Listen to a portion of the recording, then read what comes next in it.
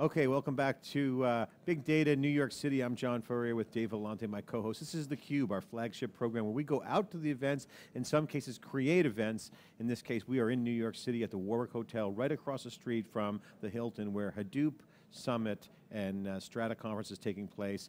Big Data New York City is part of the bigger theme of the Big Data Week going on here. And uh, Dave, I'm excited to be with you here because one of the things that's, one of the things that's actually happening here is um, that we are here having our own event, and a lot of people don't understand what's going on with theCUBE, and uh, I want, I want to explain it. I want to, I want to take the time to explain it. Yeah, So- John, why are we here? Why are we here? We're at the Warwick Hotel, right across the street from the Hilton. You can see it, you know, right from here, from our, from our studio here at the Warwick. Why are we here? Okay, we're here because our relationship with O'Reilly Media has changed a bit and, and the ecosystem, and, and we're here because of Hortonworks and WANDisco's generous underwriting support and from overwhelming support from the community of big data to allow us to come and support us. We're sold out, not sold out, we're filled up all week. Uh, we had to start early today. We already got about eight segments already done today. Our whole focus with theCUBE from day one was we really didn't have our hand out, David. We're an open source content and we want to, to give back. And to us, we believe that the best content is still out there to be had, and our mission from day one with theCUBE was to go wherever it takes to get that story, to share perspectives, take the human component of the story out there and share that with the crowd. And one of the things we felt strongly about was going to these events. And we've gone to all the events through the Hadoop world, except for the first one, but 2010 is our fourth year. Um, and then we've been, to, we've been to all the events, Dave. So it was a shock to us when uh, O'Reilly Media asked us, actually didn't even ask us, they told us they don't want us involved in any more of their shows. So we said, okay, no worries, we'll still come down here, and we're coming down here on the, on the floor at the, at the work on, the- on the main first street view behind us, you can see, uh, covering the event. And again, we, we want to be part of the community. We are part of the community, and we're proud to be present at creation from day one of the big data community. A lot of other people coming in, Johnny come lately into the industry. We're happy to be here from day one, and we give back. So one of the reasons why we're here is we have a commitment to programming in this area, we want to continue to do a good job. We're known for going deep. We're known for being meticulous about the editorial independence. Yeah, and sometimes you know, we don't proof check those spelling names on the lower thirds, but we'll get to that. Uh, we just have a lot of fun doing it, Dave. So I want to explain to everyone that is the um, situation. Um, Well, I want to add too, the, uh, we can't thank enough the community for the support that we've gotten. Uh, John mentioned uh, WANDisco and Hortonworks in terms of providing financial support. Also, uh, MapR, uh, the guys at Sqrrl and Hadapt, also you know providing support. But more importantly, the individuals that are helping us create the programming. So Hillary Mason is coming on uh, theCUBE. Uh, Alistair Croll has agreed to come on.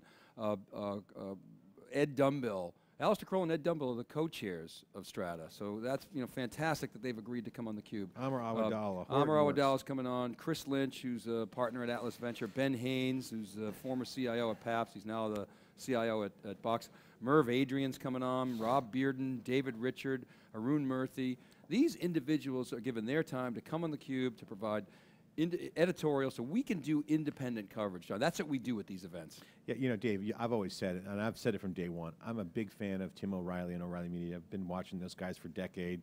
I know all their moves. I know what they're doing. and I know their business. We are not competitive with them. So you know, a lot of people are like, what's going on? No matter what is said, just for the record, we feel great about O'Reilly Media. We like those guys. We're just not competitive. We just do a completely different thing. I mean, it's like trying to compare ESPN in the early 80s with all the networks. They're just different. I mean, we're different than them. So I think a lot of the things that I uh, you know, want to share is, without going into great detail, is just cultural differences. We love sports. They love other fashion and, and other things, but just different. So we have no problem with those guys. We like covering them. More importantly, we care about going to where the stories are. We launched our crowd chat application. We have our data science operation. We're using whatever tools that we can build to create the best stories possible, to surface those stories, to bring those stories with analysis, doing our best to reinvest into getting the better writing. And again, it, it's going to be a process, but we're excited to go to the events and go to where the action is and hear from the people themselves. It's all about the people and the community, Dave. Well, we had eight segments tonight, John. We got 17 segments tomorrow, 15 segments on, on Wednesday. So there's no shortage of, you know, continued, no shortage of demand for people who want to come on the cube. So we're really pleased about that because we really didn't know, John, what was going to happen when O'Reilly made the choice, you know, not to not to include us.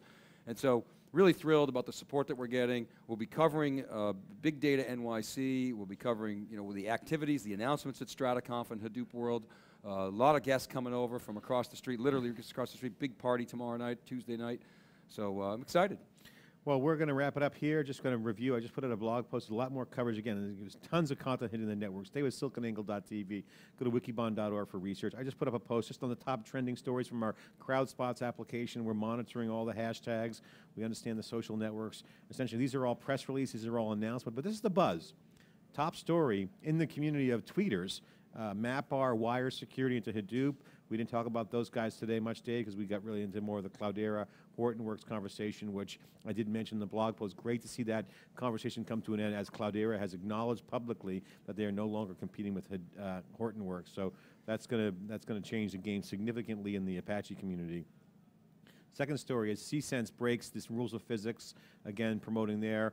And then obviously um, the big story in terms of substance but didn't get the virality was the HDInsight Windows Azure. Uh, I think that's mainly because I don't think Microsoft is plugged into the community uh, as Hortonworks is. So I think Microsoft just doesn't have the credibility yet, Dave, in the industry uh, to get the virality. Um, and then the Cloudera partners uh, had an event here, got a little buzz there, a little press release. Although we have no details, we got briefed on, on the, uh, the program, but we weren't at the event. Uh, and then finally, EMC Isilon made it. I think this is the EMC, you know, tweet machine going uh, going going berserk here. So Hadooping with us is free. So that was a, a, a conversation about Isilon, and I don't know if you remember Dave, but um, our concept is Sanju uh, Patel. I said to him, "You guys are more big data than Greenplum," and he kind of gave me that shake. And you know, Isilon's not known in the big data community. People think of Greenplum, which is spun out for Pivotal, but Isilon runs big data. They're in all the big web scale companies. Joe Tucci agrees with you, John.